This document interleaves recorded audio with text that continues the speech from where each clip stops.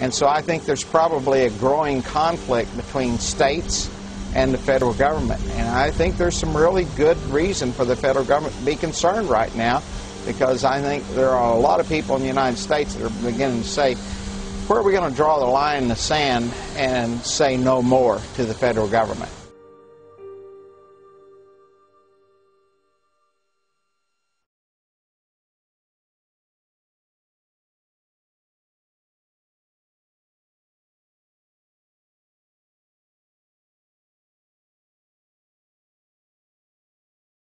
Every generation faces tyranny. Every generation faces corruption and is forced to stand up against it or become enslaved. Our ancestors fought and died so that we'd have the little bit of liberty we have now. It is a sacred treasure. And from liberty comes all prosperity. The human race is depending on all of you out there that are seeing this information to educate yourself on the facts presented in this film and then to take action. We've got to forget about Washington, D.C. I think Washington, D.C. is too far gone. It's a cesspool of iniquity. Uh, I think it's totally and thoroughly corrupt. It doesn't matter which party you put in charge of the White House or Congress, nothing of substance changes. I really think the power and strength of the people rests where it always has rested, and that is with the states. So we need to start putting some teeth into our state laws and we need to be electing sheriffs that are going to protect us from federal agents when they initially don't understand this because their civics lessons weren't very good in school. The 10th Amendment very clearly says any authority not granted to the federal government by the Constitution belongs to we the people and the sovereign states that make up this union. The states had all the power. They gave some few powers that are listed in the Constitution to the federal government and kept all the rest for themselves. Well, my first guest works for the people of Oklahoma and he's trying to do right by them. But he believes it's kind of hard to do that when the federal government keeps butting into the state's business. And now he's working to pass a bill in the state of Oklahoma that would declare state sovereignty from the federal government. Well, the resolution is saying that the Constitution is the supreme law of the land and that it specifically delegates certain powers to the federal government, and all other powers are reserved to the people and the states and that the federal government has increasingly uh, moved out of that framework over the last several decades and that they need to get back into that proper role. A number of states already have them. Many more are considering similar resolutions as a bulwark, proponents say, against the federal government handing down laws that they see as unfunded or unconstitutional. Ongoing pattern of overstepping its constitutional authority. Dozens of states are now considering resolutions asserting their sovereignty under the 10th Amendment of the Constitution, pushing back against Washington's intrusion into everything from land use to gun control. And there's really uh, somewhat of an uprising in the states across the country is this uh, federal law called the Real ID Act. Texas appears ready to declare its sovereignty again. A resolution doing just that has the unabashed endorsement of the state's governor. I believe the federal government has become oppressive. I believe it's become oppressive in its size, its intrusion in the lives of its citizens, and its interference with the affairs of our state. The bill, HCR 50, is currently in Texas's House. It reasserts the constitutional guarantee of the 10th Amendment. We need to focus on our state government. We need to focus on our state legislators, the governor's mansion, the state Supreme Court, the sheriffs at the state and local level. All these, all these agencies uh, need to be the focus of freedom loving people. And if you do treasure the notion that your rights are unalienable, meaning imbued in you by our Creator, and you want to defend the American circumstance, the only way we can effectively battle the Agenda 21 protocol is to do it locally. We have the checks and balances in the states to be able to maintain the freedom of our people.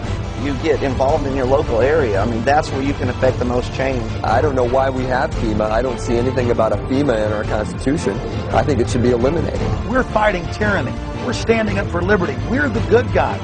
We have uh, the moral high ground on our side. All you have to do is get started. Take that first step, and then you'll find that, that you get this momentum, and it can't you can't stop it.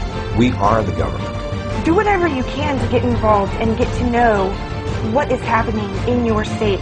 Are they watching people in your state and sending information up to FBI and Homeland Security? Are you going to be profiled in a report issued by your state?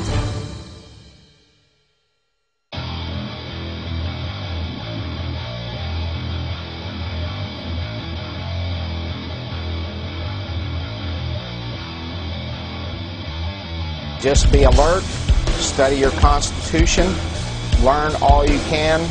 I think there's certain basic organic documents that you need to become familiar with. I would start with the Mayflower Compact. Uh, the next one I would urge you to read is Patrick Henry's famous speech where he ended by saying, give me liberty or give me death. Certainly the Declaration of Independence is one you really, it's a philosophical framework. Uh, the Constitution came along after that to be uh, actually the blueprint or the framework of a building built upon uh, the ideas uh, espoused in the Declaration of Independence. You must read the Federalist Papers and the Anti-Federalist Papers, Northwest Ordinance, George Washington's Farewell Address. These are the organic documents from which we came, and it basically expressed who we were when we attained to greatness it's who we need to go back to. On top of that, there are many other really important books to read to understand your enemy. And I would suggest The Shadows of Power by James Perloff, uh, Creature from Jekyll Island by uh, G. Edward Griffin. Uh, another one uh, actually written by one of the enemies, in my opinion, is uh, Carroll Quigley's Tragedy and Hope. So read those, uh, those books, study and all to know what we are, but also equip yourself with understanding of who your enemy is because we're in a struggle for our future at this point in time. I am now working at a network that will follow through on a story. I am not a journalist. I'm just a guy who cares. I'm sorry. I'm just a guy who cares an awful lot about my country. And I think you do too. But sometimes, for political reasons or whatever reasons, people just won't follow a story. I have to tell you, I'm doing a story tonight that I wanted to debunk these FEMA camps. I'm mm-hmm. tired of hearing. You know about them? Sure. I'm tired of hearing. I wanted to debunk them. Well, we've now for several days done research on them. I can't debunk them and we're going to carry the story tonight. I don't know anything about him. So. It is it is our government. If you trust our government, it's fine. If you have any kind of fear that we might be headed towards a totalitarian state, look out. I've been watching Glenn Beck for a long time, and I saw him say that Ron Paul supporters are basically all terrorists and that the Army should watch Ron Paul supporters. Then he became Ron Paul's biggest buddy. I watched him, uh, you know, come out repeatedly and demonize the 9/11 Truth Movement or anybody who questioned anything the government did. And then when he said he was going to expose the FEMA camps and he thought they were real, I said, look out, folks, this is his MO. He acts like he's on our side, he acts like he's really investigating and then he sucker punches you once he's gotten your confidence. Popular Mechanics, they did an incredible job in the writing of the definitive debunking of the 9 11 conspiracy that everybody knows now is not true because of Popular Mechanics, except Rosie O'Donnell.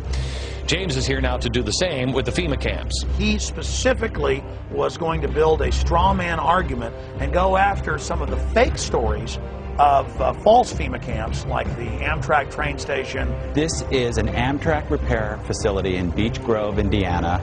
The, uh, the, the woman who made this video initially claims that it's some kind of American Auschwitz and they've outfitted buildings with gas and they've got these strange turnstiles. In fact, it's, uh, it is a repair facility. They're repairing trains in there. Well, trains, I believe Auschwitz had trains. I'm just saying, Jim. Oh, yes, there are real FEMA camps, and there are bills and legislation, and Americans have even been held in FEMA camps before during demonstrations in Seattle. But he didn't choose to go into any of that, even though we mailed him packets of that material. One of those buildings has been knocked down. This video actually dates from about 1995. So the turnstiles are there for, they, they were there. They're not there anymore? Right. The turnstiles were just ordinary subway turnstiles that would be familiar to anyone who's ridden the subways in New York. He went to the disinfo on the internet knowing he could discredit a straw man. And that's what's so despicable about Glenn Beck is that his propaganda is so shoddy uh, that it's just amazingly predictable. By the way, if you want to get all of the information and more on the FEMA camps, debunk information that